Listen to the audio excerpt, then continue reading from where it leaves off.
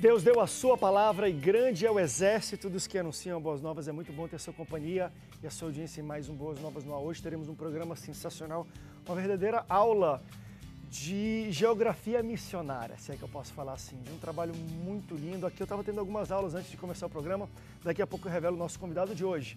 Antes eu vou para a Central de Semeadores com o pastor Ronaldo. Tudo bem, pastor Ronaldo? Tudo legal, André. Pastor Ronaldo, sabe uma coisa que eu acho interessante, conversando com o nosso convidado de hoje?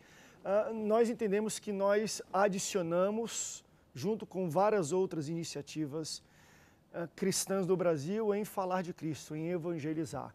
Verdade. Mas após a aula que eu tive hoje, e é um desafio, acho que para a gente da Boas Novas e para você que é semeador, o desafio é muito maior do que a gente imagina. Porque de Isso fato é mesmo. interessante que a gente possa chegar na casa das pessoas por televisão, mas só a televisão não alimenta a barriga, a cabeça e o conhecimento das pessoas. Precisa ter uma proximidade e uma assessoria de igrejas locais, de pessoas trabalhando para falar do Evangelho. A gente vai falar aqui de pelo menos 5% da população brasileira que não tem contato nenhum com a igreja, porque não existe igreja nessas localidades. Isso é um desafio para todos nós e para a Rede Boas Novas também, como uma missionária da telecomunicação. É verdade, André. Inclu- Inclusive, as duas participações de hoje aqui têm tudo a ver com, esse, com essa visão missionária, essa necessidade missionária. Por exemplo, a Socorro Rodrigues, que é lá da nossa terra, lá do Amazonas, né, onde começou a Boas Novas, e todo mundo sabe que o Amazonas é um- uma extensão territorial monstruosa, maior que muitos muitos ribeirinhos, países muitos vilarejos, isso mesmo. do mundo, não é verdade? E a baixa densidade demográfica, né? Você encontrar uma pessoa lá pelo interior, uma aqui, depois uma casa não sei onde, uma maloca lá não sei onde, né? Uma palafita. Muito difícil. E a Boas Novas está lá nos seus mais de se- 60 municípios em todo o estado. E também a- o Cleidimar, que está nos assistindo, sabe aonde? Em Teresina, Piauí. Piauí, que ainda é o, es- o estado brasileiro com menor índice, por exemplo, de evangélicos, né? No Brasil já há muitos anos e o Piauí continua também. Eu tenho pastores amigos também lá no Piauí. Então, o desafio missionário é muito grande. Como você falou, a Boas Novas está aí presente para cooperar, colaborar na divulgação da palavra de Deus, divulgar trabalhos como o do nosso convidado de hoje, né? Eu Não, tenho e- certeza E é que fantástico, porque vai a gente imagina. pô, ah, mas a igreja de lá não fala. Por que, que é o menos? É interessante a gente entender que tem toda uma questão geográfica, cultural por trás disso. E, primeiro temos que entender isso, para depois sabermos que ações devemos tomar. E, enfim, de fins missionários mesmo. Mas interessante mesmo. Tu tá afiado aí, hein, Ronaldo? Também Pois no- é. nos dados. Eu Tamo acho que tu junto. viu no Google aqui antes de começar o programa, não? É isso aí. Por isso a gente fica aqui, André. Vamos semear, gente. Vamos. Semear para essa planta crescer no coração dos nossos brasileiros a semente, a boa semente do reino de Deus. Obrigado, pastor Ronaldo, todos os semeadores do Brasil. Você Joia. pode fazer contato durante todo o programa para você ter acesso né, às pessoas que lhe atendem e ligar e semear na Rede Boas Novas, fazer um pedido de oração, tirar alguma dúvida sua. Olha, uma coisa onde a Boas Novas também investe, além do crescimento, na expansão de sinal, é também na produção. Uma coisa que a gente tem visto muito no Brasil é várias situações né, culturais e tudo querendo atacar a família, mas principalmente as crianças. A gente tem visto as crianças serem atacadas de várias formas, mas é interessante porque não adianta a gente também ficar apontando o dedo e falando que está errado, que é errado, que é errado, se também não damos um caminho certo a se seguir, se não temos uma alternativa. Eu já vi muita gente falando, vamos boicotar a televisão A, B ou C, desenho A, B ou C, empresa de criança A, B ou C, e qual é a alternativa também que vamos dar então de consumo, de entretenimento para as nossas crianças? A Boas Novas se preocupa muito com isso e ela investe muito nessas faixas né, etária infantil. E eu quero apresentar para você o Missão Harpa. Já está no ar, no canal do YouTube, gratuito para você assistir.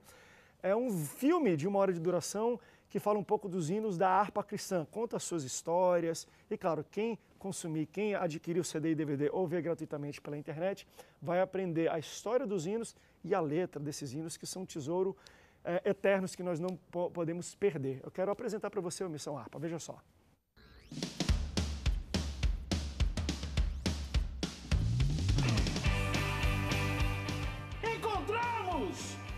Meu Deus, ela mesma.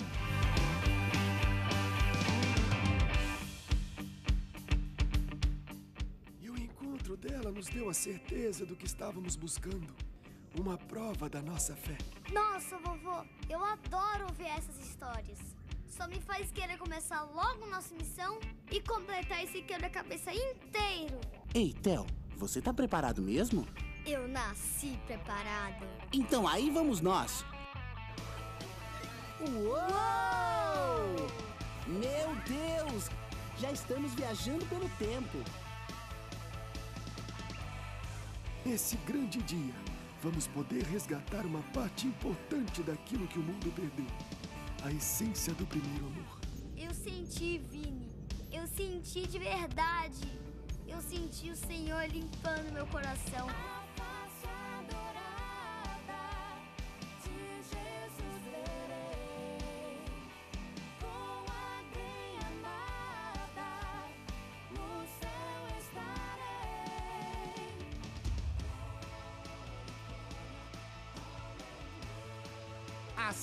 Nós agora, nesse tempo difícil, temos a mesma missão que os primeiros cristãos tinham: entregar apenas o que nos foi dado, o amor de Deus, as boas novas do Evangelho e manter acesa a chama para as próximas gerações.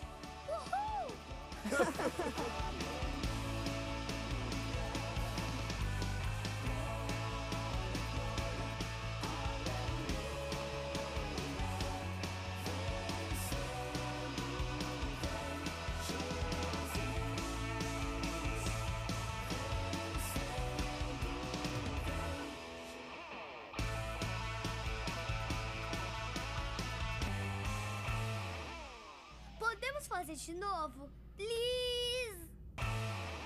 Certo, já está disponível gratuitamente no YouTube. É só você buscar lá Missão Harpa, se inscreva no canal e coloque seus filhos para assistir, tá bom? Esse é o tipo de conteúdo que vai edificar a sua casa.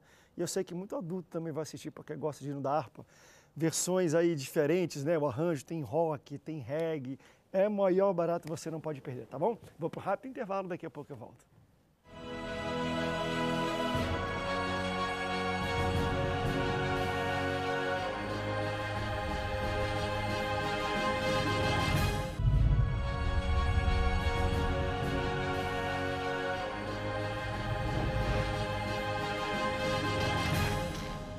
Estamos de volta com Boas Novas no Ar. Olha, vai ser um programa sensacional. Quero que você preste bastante atenção em tudo que é dito aqui.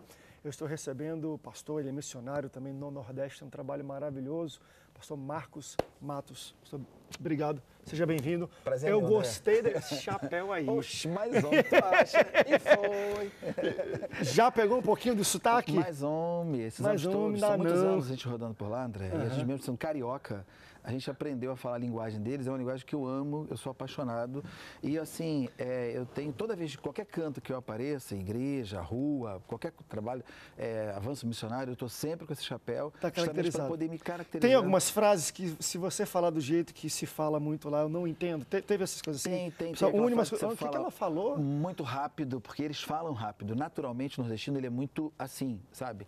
E ele, ó, gente, é, menino, vem cá, e foi, vai. Então você vai. Não tem Canto, jeito. tem- tem- tem uma- tem uma olha, cantoria. Homem, Homem, é, entendi. Manhinha, se eu fizer o que tu pediu, tu traz um sorvete pra mim, traz. Quer dizer, então é aquela coisa cantada e tal. Mas Oh, é, é fantástico, é muito legal. O que, que fez um carioca, nascido no Rio de Janeiro? Isso. Família aqui, todo estabelecido, parar em... Você mora hoje... Eu a- morei, eu, não, eu morei na cidade de São José de Caiana. Nunca ouvi falar. Então, é, é São José de Como Caiana. talvez muitas pessoas que Isso. estão assistindo. Onde é que fica isso? Vamos lá. São José de Caiana é uma cidade do interior da Paraíba. Surgiu Paraíba. uma missão em João Pessoa que fazia projetos, já faz há muitos anos.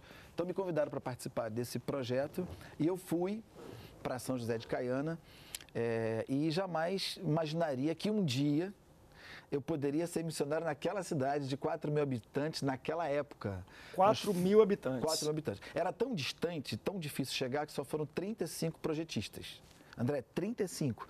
Porque era muito complicado, porque você tinha que fazer várias conexões, ou seja, você descia em João Pessoa, aí depois pegava um ônibus andando 9 horas de ônibus, depois subia num pau de arara, depois subia numa mula, até conseguir chegar na tal da cidade. Uma A pé ainda, né? para- para só que- De pés. De pé, de quê? De pé, hein? Aí chegamos nessa cidade e Uau. começamos assim, sabe, a sonhar com uma coisa que a gente jamais conheceria. É, São José de Caiana naquela época era conhecido como a cidade cidade da fartura. Uhum. Fartava tudo. Fartava prefeito, fartava água, fartava, Fartava luz, tudo. fartava a palavra de Deus. Uau. Mas à medida que quando o evangelho, aonde ele chega, as coisas se transformam. E foi o que aconteceu em Caiana. É, claro que eu, eu, eu- vou querer em algum momento aqui retroceder para entender todas as experiências que você teve. Claro Ok. que a gente tem pouco tempo, mas me fala atualmente do trabalho missionário que é desempenhado lá para a gente entender bem o que, que está acontecendo lá. Evangelho é atitude. Isso. Enfim, você participa de vários, ou já participou de vários, hoje desempenha qual tipo de trabalho? Então, a partir do momento que a gente conheceu a realidade de um, de um local, de uma situação, a gente fez o quê? Eu pastoreei na cidade de São José de Caiana durante 14 anos. Uau, é a vida, é uma pastores, vida Tem oito pastores que estão rodando o Brasil afora também falando, nas suas cidades, nas suas igrejas e tal, enfim. E eu comecei a perceber que eh, o meu povo do Sudeste, o, o povo do Sul, o povo do Centro-Oeste, que é um pouco mais esclarecido, o povo que é estudado, o povo, enfim, não tem a menor noção, não tinha e não tem ainda, infelizmente, a menor noção do que, que acontece no Nordeste brasileiro hoje. A necessidade do povo nordestino é algo extremo que precisa ser falado, que precisa ser comunicado. Então eu não posso admitir, queridos, que eu tenho tanto, tanto no sentido até espiritual, porque eu escuto falar de Jesus até a hora que eu não quero. Se eu tiver Uhum. uma insônia de madrugada, eu ligo a televisão, tem um cara lá falando de Jesus. Só Ah, que entendi. no Nordeste brasileiro não é assim. Ele nasce. é, Farta até isso, né? Farta tudo isso. Então, assim, a Uau. gente veio para mudar. Aí criamos o Amigos do Sertão que assim é um projeto, na verdade, que a gente faz é, nos meses de férias, fazemos projetos de missionários para ajudar cidades Uhum. de preferência com menos de 3% de evangélicos. Estudamos com carinho essa cidade, com menos de 3% de evangélicos. Nesse momento, muitas pessoas estão falando, mas não existe uma cidade assim. Eita, Ainda mais eita, que a gente fala eita. de crescimento de, de evangélicos, somos um, É. um terço da população, em Sim, 20 anos vamos ser 50 metade milhões, tá, sim. da população. Sim. Ah, isso não é de fato a realidade Não, nessa não, região que não, você está falando. não, Talvez nas capitais nordestinas, ok. Isso. Mas não. Você encontra, como nós falamos aqui antes, é, na Zona da Mata, nas, nas, nas grandes cidades, nas capitais nordestinas, igrejas com 5 mil membros.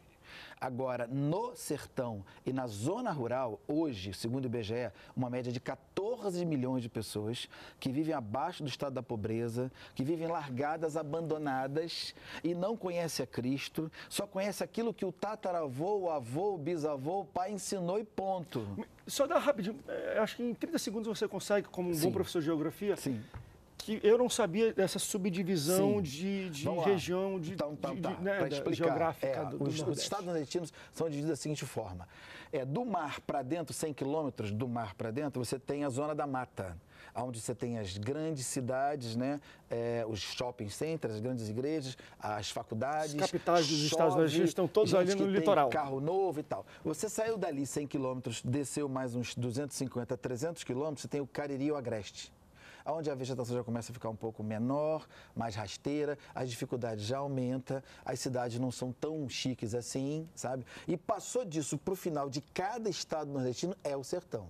E eu estou falando não só dessas cidades do sertão, eu estou falando também das cidades que estão na zona da mata do sertão. Aí que a coisa complica. Aí que você, o índice de evangélicos nessa zona da mata do sertão nordestino é o mesmo do mundo muçulmano. Hoje, 0,01%, 2% de evangélicos no mundo muçulmano é o mesmo do mundo nordestino. Então isso precisa ser falado, precisa ser conhecido pelo povo evangélico. Uau. E então, é nessa área Sim.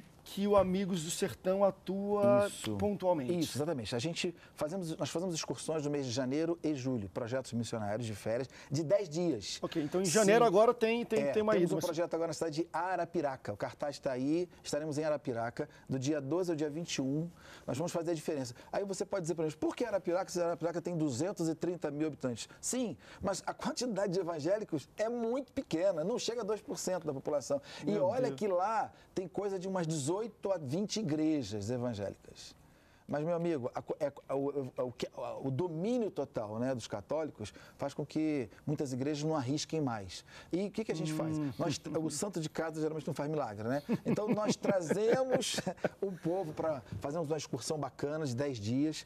Nós temos todo, ó, a equipe do Amigo Sertão, ela é dividida em 12 líderes, eu tenho líder para tudo, líder para louvor, líder para oração, líder para evangelismo, cada um na sua função, cada um de uma igreja diferente, Perfeito. cada um de uma denominação diferente, é visão de reino. De reino, São 10 bonito. dias, mas precisamos. Na sexta-feira tem o culto de abertura e no sábado e domingo é o treinamento. Você precisa participar do treinamento para que você não pague mico lá na hora de evangelizar. Aí você vem todo o processo, a contextualização nordestina, só as regras sociais que a gente dá, é, o plano da salvação. A gente ensina o cara a falar a linguagem do nordestino. E o bom é que ele fala em português, apesar de ter essa coisa arrastada. Oxe, mais homem e tal, mas desse jeito a gente consegue e Deus tem abençoado profundamente, sabe? Um dado antes da gente ir para o primeiro intervalo, que achei interessante, eu perguntei para o pastor Marcos, olha, só para a gente entender, e você que está em casa entender, essa questão de número de evangélicos, porque a gente imagina que no Brasil, a nossa convivência, principalmente nos grandes Sim. centros, é igreja para tudo que é lado. É verdade. Essa coisa de Ibope, que, o Ibope, mas o censo do IBGE fala que somos um terço da população. lá, lá, lá. Aí eu perguntei para ele, quantos são os locais, vilarejos, né, cidades menores, que não tem igreja. Então, quando eu falo que não tem igreja, querida, então, É. como é que um evangélico vai manter a fé dele sem um. Às Isso, vezes, embora até possa com mas com, sem a comunhão Sem de igreja, sem de igreja, tudo, estar sim, junto, de cantar dominical, junto. isso. Eu até anotei. 6 mil povoados. Isso. E a média. A gente chama de aglomerados humanos. Porque eles vão se afastando cada vez mais para lugares assim da cidade, porque, como eu falei, hoje para se pagar um aluguel numa cidade do sertão, a média é de 50 a 80 reais. e o pai de família não tem. então ele vai para a zona rural, chega lá, Zona rural do sertão. do sertão e chega naquelas fazendas. Seu Zé, eu posso plantar aqui? Eu posso fazer assim, plantar milho, plantar feijão? O cara sempre deixa. Aí divide a colheita em meio a meio. E ali, por isso que o nordestino bota filho no mundo, porque ele não consegue, chega uma hora que a vista começa a cansar, a pele começa a ficar complicada, os câncer- o câncer de pele é muito forte. Ele cansa, obviamente, né, o estado físico da pessoa, e aí ele taca filho no mundo. Por isso que tem é normal o nordestino ter muito filho, é natural, é muito conhecido como isso. Mas hoje, os aglomerados humanos são uma média, segundo o IBGE, 6 mil povoados sem presença evangélica. Não tem. Aqui você bate a cabeça com um com o outro na paz do Senhor. Lá para você dar a paz do Senhor, é aqui ou está lá em São Paulo, irmão. É muito distante, é muito longe. E, infelizmente, é a nossa realidade. E isso tudo somado em pessoas, a gente está falando de um número entre 14 a 18. Não, é, 14 não, hoje são 14, segundo o IBGE, 14 milhões 14, de perdão. pessoas que estão nessa zona rural precisando ouvir falar que só o Senhor é Deus. 5%, quase da população, 14%. 14 milhões de pessoas Exatamente que não têm isso. acesso a uma igreja evangélica. Vamos para um rápido intervalo para você ir pensando nisso, anotar os números, é algo que você tem que participar. E agora, é urgente. A gente volta já já, não sai daí.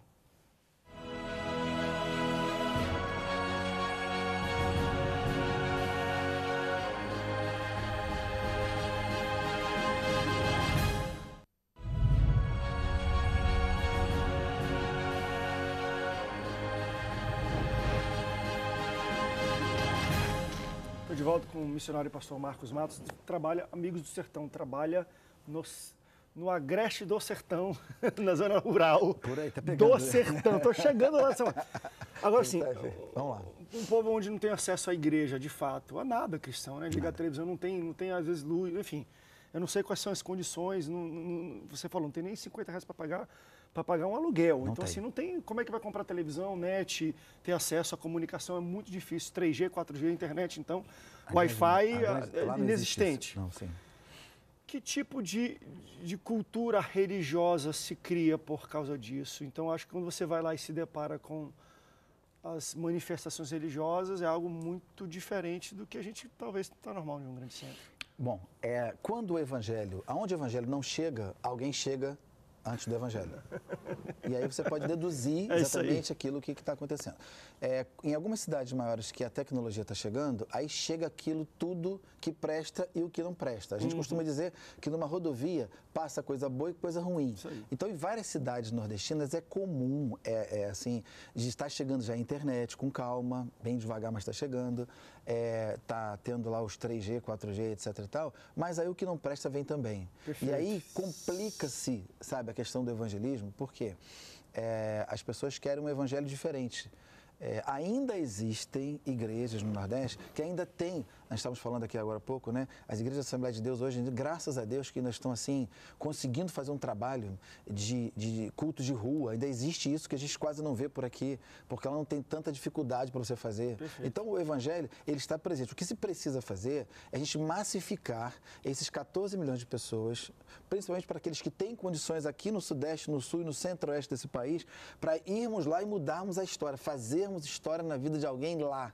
Então, o Amigo do Sertão tem feito isso com as escolinhas de futebol. Somos 12 escolinhas de futebol espalhadas. Uau, Nós temos, assim, por exemplo, feito vários avanços missionários quando não temos projetos em mês de janeiro e- e julho. Nós temos, assim, vários avanços que são aqueles avanços de sexta-noite, sábado o dia todo, domingo até a hora do almoço, depois o cara volta para sua cidade.